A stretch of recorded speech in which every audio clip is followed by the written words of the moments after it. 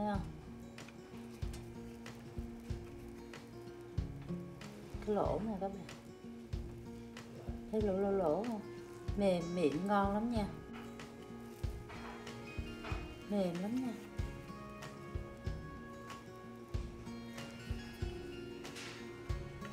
Xé miếng ăn cho các bạn coi nè.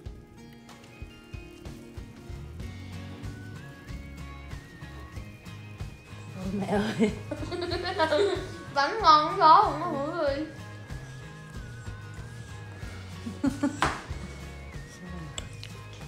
gật gù gật gù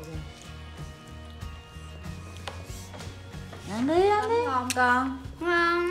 Ăn bánh gì vừa ăn vừa đọc sách. Ăn bánh đó bánh gì vậy? Nói mình nghe coi. Bánh bò. Hả? Bánh bò. Bánh bò bánh bò nướng. Nướng Hello, xin chào mọi người, mọi người có khỏe không nè? Bữa nay mình cùng vào bếp làm món bánh bò nướng nha. Món bánh bò nướng này mình cần có nè 200ml nước cốt dừa ha. Nước dừa này mình lấy 200ml thôi. Rồi mình đổ vô đây ha. Bộ đổ với cái nồi nè. Mình làm cho nó nóng lên ha. Đổ với 100g đường cát nè Khoảng nửa muỗng cà phê lá dứa.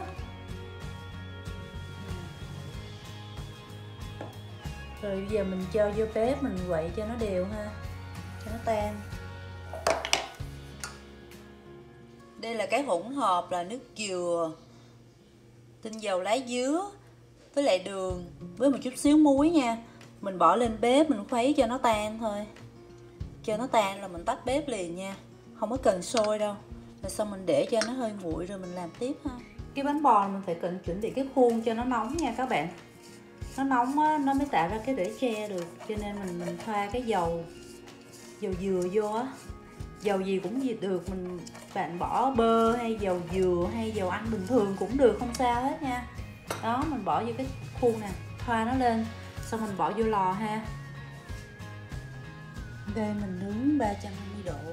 Bây giờ mình chuẩn bị cái tô với cái rây bột ha.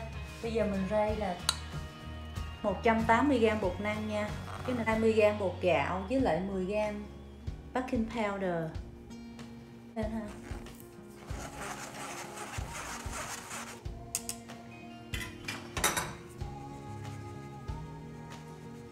Rây nè. Bây giờ mình gạt cái này qua một bên. Giờ mình bỏ trứng vào cái tô ha. Rồi mình có bốn trái trứng nè các bạn. Bốn trái trứng gà.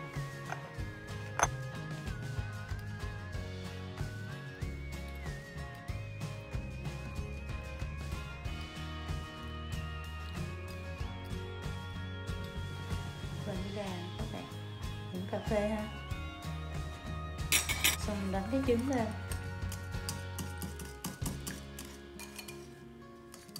Không cần đánh kỹ quá đâu các bạn.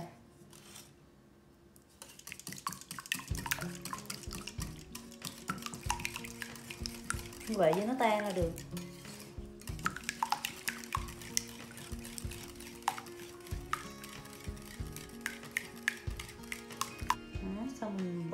Rây trứng vô cái rây ha. Trong cái cái nước dừa đó các bạn. Đổ vô cái nước dừa đó. Nước dừa nãy mình nấu á.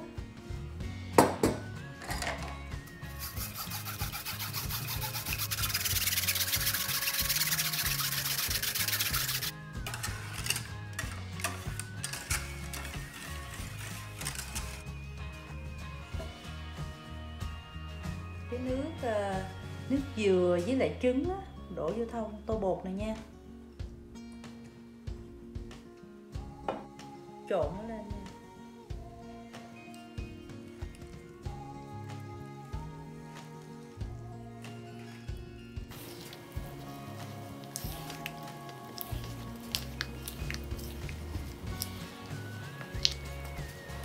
Trộn nó lên nó không có tan hết đâu các bạn. Mình bỏ vô cái cái, cái nồi hồi nãy đó mình lọc nó lại nha.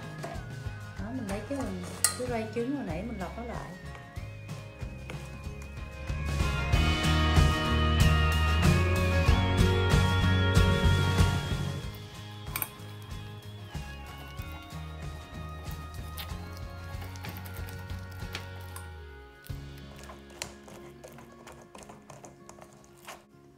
Đó mình lọc cái bột nó nó mịn về xong rồi mình cho thêm uh, hai muỗng canh dầu dừa nha các bạn.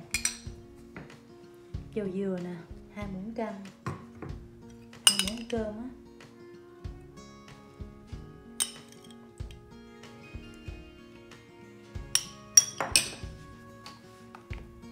Quậy nó lên ha.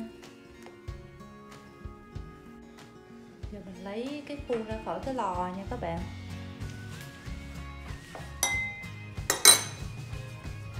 Sơ thêm một nữa xong giờ mình đổ vô ha?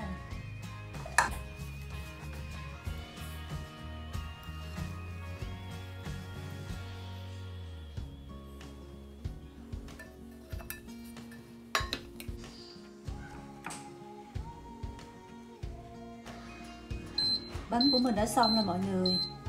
Cái này là mình nướng là 350 độ trong vòng 30 phút nha các bạn.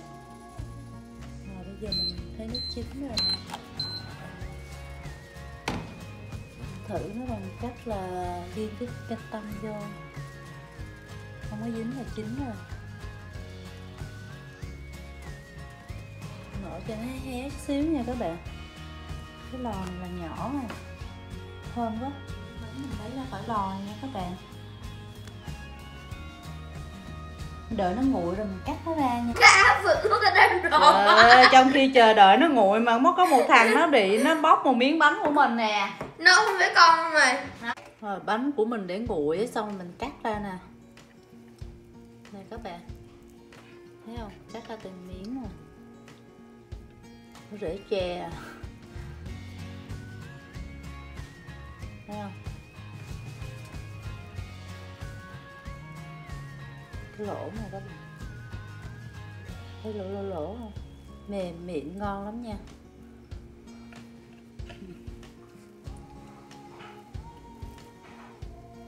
Mềm lắm nha.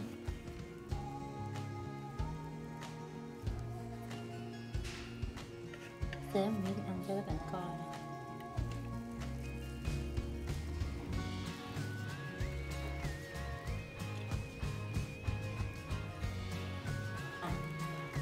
Video mình kết thúc tại đây nha các bạn ơi. Chúc các bạn làm thành công nha. Bye bye. Hẹn gặp lại video sau. Chào tạm biệt.